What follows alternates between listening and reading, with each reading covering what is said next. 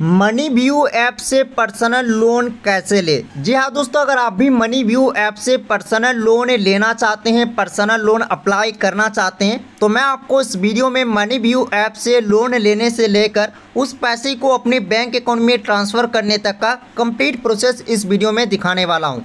जैसा दोस्तों, यहाँ पे देख सकते हैं, हम अभी अभी मनी व्यू ऐप से लोन ट्राई किए हैं और यहाँ पे देख सकते हैं, मुझे दस हज़ार रुपये का लोन अप्रूव किया गया है। और मैं इस लोन अमाउंट को सिर्फ़ एक क्लिक में अपने बैंक अकाउंट में ट्रांसफ़र कर सकता हूँ। तो दोस्तों, अगर आप भी मनी व्यू ऐप से लोन लेना चाहते हैं तो आप इस वीडियो को कंप्लीट देखिएगा। इस वीडियो में मनी व्यू ऐप से लोन अप्लाई करने का कंप्लीट प्रोसेस आपको हम इस वीडियो में दिखाएँगे। तो चलिए वीडियो को शुरू करते हैं। इससे पहले वीडियो को लाइक नहीं किए हैं तो वीडियो को लाइक कीजिए और चैनल पर नए हैं चैनल को सब्सक्राइब कर लीजिए।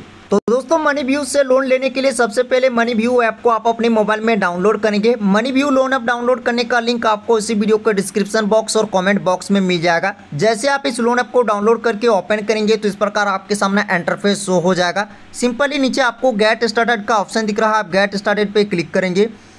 जैसे ही गेट स्टार्टेड ऑप्शन पे क्लिक करेंगे आपको मनी व्यू लोन ऐप को अपने डिवाइस का कुछ परमिशन अलाउ करना होता है, जैसे कि location S M S sended install app device information तो आप इसको रीड कर लेंगे। इसके बाद दोस्तों आपको आईग्री का ऑप्शन दिख रहा है, नीचे आप आईग्री ऑप्शन पे क्लिक करेंगे और एक एक परमिशन को अलाउ करते जाएँगे।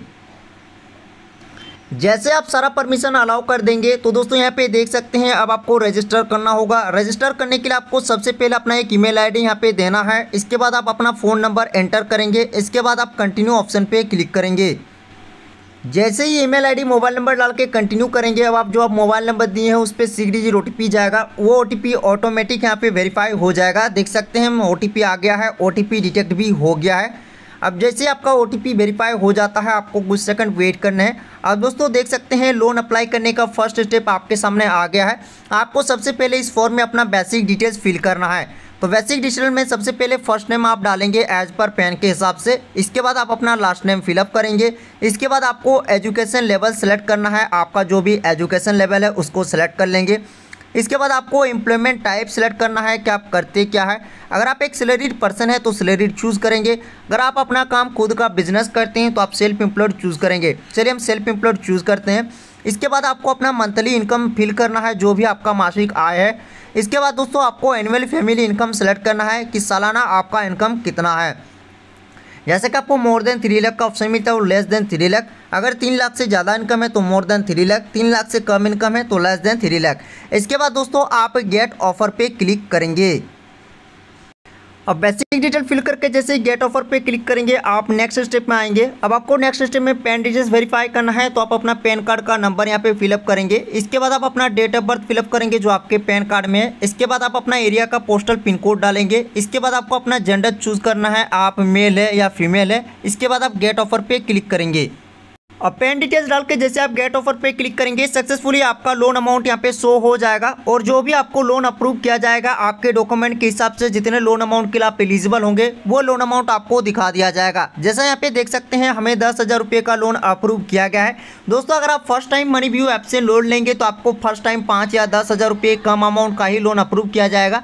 लेकिन जैसे ही आप एक बार यहाँ से लोन लेके लोन को टाइम पे रिपेमेंट करेंगे और नेक्स्ट टाइम आप यहाँ से लोन अप्लाई करेंगे तो आपको यहाँ से अप टू टेन लाख रुपये तक का लोन मिल जाएगा। तो जैसे आप पे देख सकते हैं, दस हज़ार रुपये का लोन अप्रूव किया गया है। अब इस लोन को हम लेना चाहते हैं। अब इस लोन को लेने के लिए सबसे पहले आप टर्म सेलेक्ट करेंगे कि आप कितने मंथ के लिए इस लोन को लेना चाहते हैं। जैसे कि हमें दो टर्म दिया गया है, एक फोर मंथ और एक सिक्स मंथ हम चाहे तो फोर मंथ या फिर सिक्स मंथ के लिए इस लोन को ले सकते हैं। देख सकते हैं, उसी हिसाब से हमें ईएमआई दिखा दिया गया है। अगर हम सिक्स मंथ के लिए लेते हैं तो दस हज़ार के लोन में अट्ठारह सौ छियालीस रुपये पर मंथ ईएमआई देने होंगे। और अगर चार मंथ के लिए लेते हैं तो हमें यहाँ पे छब्बीस सौ नब्बे ई देने होंगे। अब यहाँ पे आपको प्रोसेसिंग फ़ीस भी बता दिया गया है। दस हज़ार रुपये के लोन में आठ सौ छब्बीस रुपये हमें प्रोसेसिंग फ़ी देना होगा। तो चलिए हम दस हज़ार रुपये का लोन अप्लाई करते हैं। सिक्स मंथ के लिए रहने देते हैं। अब इसके बाद आपको कन्फर्म एंड प्रोसीड ऑप्शन दिख रहा है। आप कन्फर्म एंड प्रोसीड ऑप्शन पर क्लिक करेंगे। जैसे ही कन्फर्म एंड प्रोसीड ऑप्शन पे क्लिक करेंगे दोस्तों, अब यहाँ पे बताया गया है कि आपको चार स्टेप यहाँ पे आप कंप्लीट करने होंगे। बेसिक इन्फॉर्मेशन फिल करना है केवाईसी वेरिफिकेशन करना है ईएमआई ऑटो डेबिट सेटअप करना है, इसके बाद लोन एग्रीमेंट आपको साइन करना है। तो लेट्स गो बटन पे क्लिक करें। अब देख सकते हैं। बेसिक इन्फॉर्मेशन फिलअप करने का फॉर्म आ गया है। बेसिक इन्फॉर्मेशन में आप अपना फादर नेम फिल करेंगे मदर नेम फिल करेंगे। इसके बाद दोस्तों यहाँ पे पूछा गया है वेट डू यू लाइव तो यहाँ पे आपको दो ऑप्शन दिख रहा है, एक आवन हाउस और एक रेंटेड हाउस तो अगर आपका घर अपना है, आप खुद के घर में रहते हैं तो आप आवन हाउस सेलेक्ट करें। अगर आप रेंटेड पे रहते हैं तो रेंटेड हाउस इसके बाद आपको लोन पर्पज सेलेक्ट करना है कि आपका लोन लेने का पर्पज क्या है। इसके बाद आपको प्रिफरेंस लैंग्वेज चूज़ करना है कि आपको मनी व्यू की ओर से कॉल आता है तो आप उस एजेंट से किस लैंग्वेज में बात करेंगे। तो जो भी आपका सुइटेबल लैंग्वेज है उसको चूज़ करेंगे इसके बाद कंटिन्यू ऑप्शन पे क्लिक करेंगे। अब देख सकते हैं बेसिक डिटेल फिल करके जैसे हम कंटिन्यू किए हैं अब हमें यहाँ पे अपना बिज़नेस डिटेल्स देना है। जैसे कि हम सेल्फ एम्प्लॉयड सेलेक्ट किए हैं तो हमें बिज़नेस डिटेल्स देना है। अगर आप सैलरी पर्सन चूज़ करेंगे तो आपको कंपनी डिटेल्स देना होगा। तो चलिए हम यहाँ पे बिज़नेस डिटेल्स फिल करते हैं। तो बिज़नेस डिटेल में सबसे पहले बिज़नेस नेम जो भी बिज़नेस आप करते हैं रजिस्टर्ड एड्रेस जहाँ पे आप बिज़नेस करते हैं पिन कोड जहाँ पे आप बिज़नेस को करते हैं, उस एरिया का postal pin code annual turnover यानी कितना सालाना टर्नओवर होता है, कितने रुपये का उसको चूज़ करें रजिस्ट्रेशन टाइप चूज़ करें नेचर ऑफ़ बिज़नेस सेलेक्ट करें। अब बिज़नेस डिटेल फिल करके जैसे ही कंटिन्यू करेंगे, अब आपको केवासी वेरिफिकेशन करना है। तो केवासी वेरिफिकेशन करने के लिए दो ऑप्शन आपको दिख रहा है पेपरलेस ई केवासी और डिजी लॉकर ई केवासी तो चलिए हम पेपरलेस ई को सिलेक्ट करेंगे।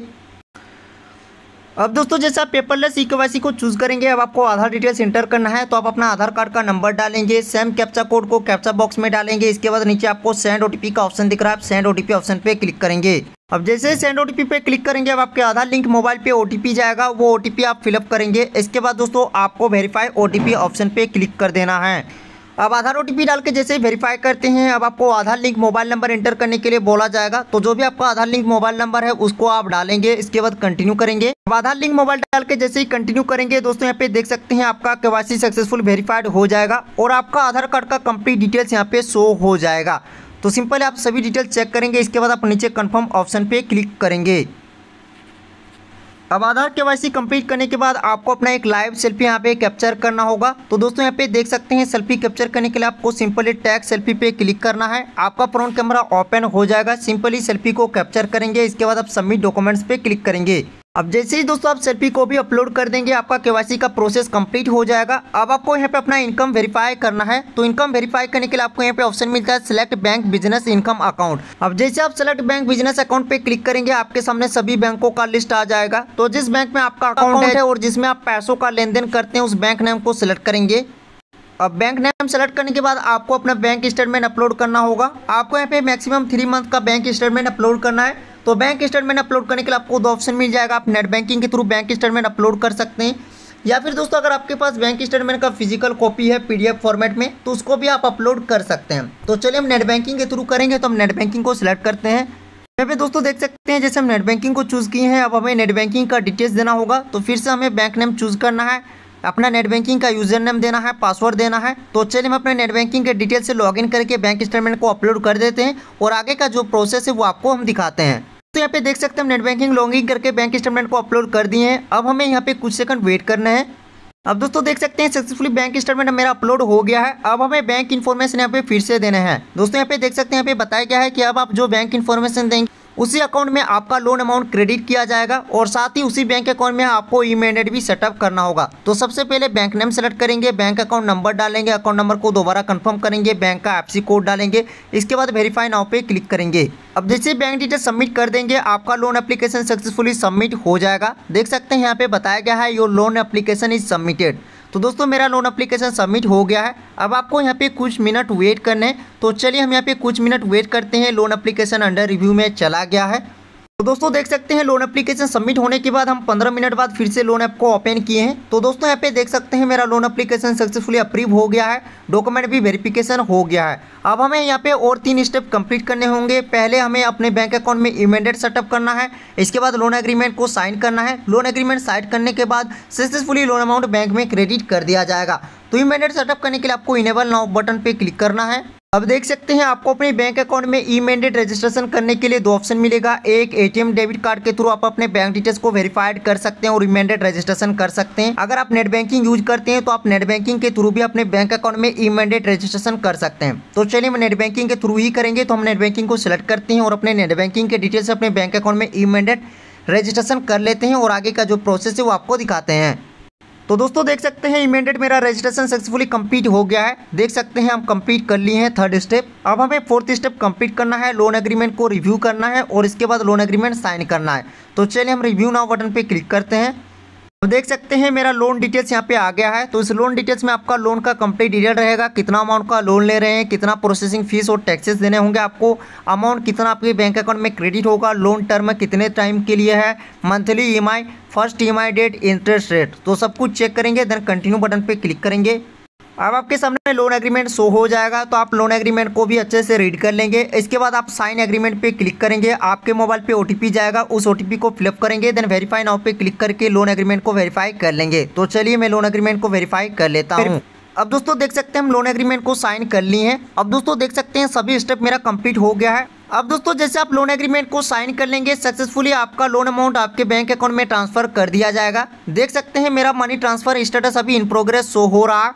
तो दोस्तों लोन अमाउंट कभी कभी आपके बैंक अकाउंट में साथ के साथ क्रेडिट हो जाता है और कभी कभी कुछ टाइम भी लग जाता है। तो अगर आपके बैंक अकाउंट में साथ के साथ आपका लोन अमाउंट क्रेडिट नहीं होता है तो आपको टेंशन नहीं लेना है। आपको एक दिन का वेट करना है। देख सकते हैं, यहाँ पे बताया गया है टैक्स वन बिज़नेस डे तो एक दिन के अंदर ट्वेंटी आवर के अंदर आपका लोन अमाउंट आपके बैंक में क्रेडिट कर दिया जाएगा। तो इस तरीके से दोस्तों, आप मनी व्यू ऐप से लोन अप्लाई कर सकते हैं और साथ के साथ उस पैसे को इंस्टेंट अपने बैंक में ले सकते हैं। जैसा मैंने आपको इस वीडियो में मनी व्यू ऐप से लोन अप्लाई करने का जो प्रोसेस है वो इस वीडियो में आपको बताया है। आई होप आपको वीडियो अच्छी लगी। अगर आपको वीडियो अच्छी लगी तो वीडियो को लाइक कर दीजिए। चैनल पर नए चैनल को सब्सक्राइब कर लीजिए। आपके मन में कोई भी कंफ्यूजन है, वीडियो के नीचे कॉमेंट कीजिए और वीडियो को आगे शेयर ज़रूर कीजिए। मिलते हैं नेक्स्ट वीडियो में। Thank you